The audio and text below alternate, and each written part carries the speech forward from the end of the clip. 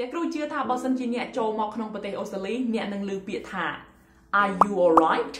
Are you alright mate អាវាមានពាក្យថា mate មកមួយទៀតហ្នឹង mate គឺមាក់ mate នឹងបានន័យថាមិត្តភក្តិមែនទេ Are you alright បើសិនជាអ្នកចូលមកក្នុងប្រទេសអូស្ត្រាលីមកដើរលេងនៅក្នុងប្រទេសអូស្ត្រាលីអ្នកគ្រូជឿជាក់តែម្ដងថាជនជាតិអូស្ត្រាលីនឹងនិយាយពាក្យនឹងទៅកាន់អ្នកអូខេនៅពេលដែលអ្នកទៅផ្សារឬក៏កំពុងតែ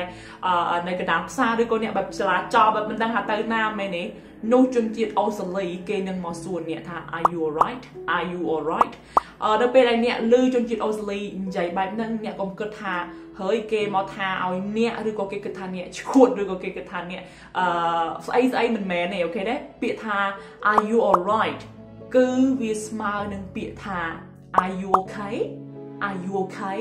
ណូវាស្មើនឹងពាក្យថា are you okay គឺគេចង់បានន័យថាតើអ្នកមានបញ្ហាអីក៏អត់អញ្ចឹងណាគឺ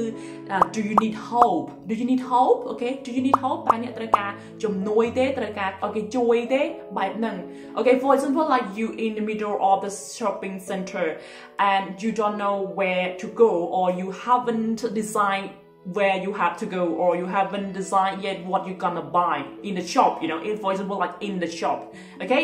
and suddenly shop assistant will ask you are you alright are you alright okay are you alright គេនឹងមកនិយាយបែបហ្នឹងតែម្ដង are you alright តែម្ដងគឺគេចង់ថា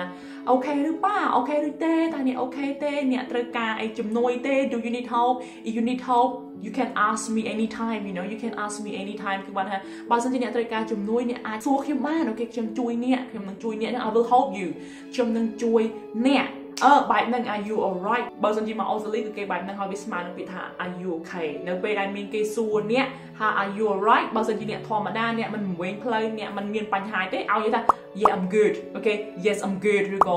I'm fine okay I'm fine ឬក៏ I'm okay okay និយាយបែបហ្នឹងเนาะគឺពេលយើងនិយាយថា I'm okay I'm good គឺបានន័យថាយើងអត់មានបញ្ហាទេយើងមិនបានត្រូវការជំនួយអញ្ចឹងប៉ុន្តែគាត់យើងនឹងគិតអីអញ្ចឹងយើងចង់ទៅណាទៅណីអញ្ចឹងណាអូខេសម្រាប់ clip នេះគឺមានតែប៉ុណ្្នឹងទេដូច្នេះហើយពាក្យថា are you alright វាស្មើនឹងពាក្យថា are you okay okay are you okay เนาะនៅពេលដែលជនជាតិបរទេសឬក៏ជនជាតិអូស្ត្រាលីនិយាយពាក្យហ្នឹងទៅកាន់អ្នកឲ្យអ្នកនិយាយតែគាត់ថា I'm good thank you for asking អឺបែបហ្នឹងតែម្ដង I'm okay okay I'm okay បែបហ្នឹងឲ្យអ្នកនិយាយទៅតគាត់បែបហ្នឹងតែម្ដងเนาะអូខេសម្រាប់ clip video ហ្នឹងគឺមានតែប៉ុណ្្នឹងទេហើយបើសិនជាអ្នកចូលចិត្ត clip video បែបហ្នឹងកុំភ្លេច comment នៅខាងក្រោមថាថាចូលចិត្តហើយបើសិនជាអ្នកគិតថា video នេះមានប្រយោជន៍ដល់មនុស្សផ្សេងទៀតកុំភ្លេច share ចេញទៅក្រៅដើម្បីចែករំលែកឲ្យមិត្តភ័ក្តិឬក៏បងប្អូនឬជាទីស្រឡាញ់របស់អ្នកបានឃើញឲ្យគាត់បានដឹងអញ្ចឹងបើសិនជាគាត់ចង់ចូលមកលេងនៅក្នុងប្រទេសអូស្ត្រាលីឲ្យគាត់ដឹងតែម្ដងក្នុងការឆ្លើយតបទៅជនជាតិអូស្ត្រាលីវិញเนาะហើយបើអ្នកមើលអ្នកគ្រូ Melinda នៅក្នុង clip នឹងលើកដំបូងដែលមិនស្គាល់អ្នកគ្រូ Melinda អ្នកគ្រូឈ្មោះអ្នកគ្រូ Melinda เนาะហើយអ្នកអាចតាមដានអ្នកគ្រូ Melinda បាននៅក្នុង page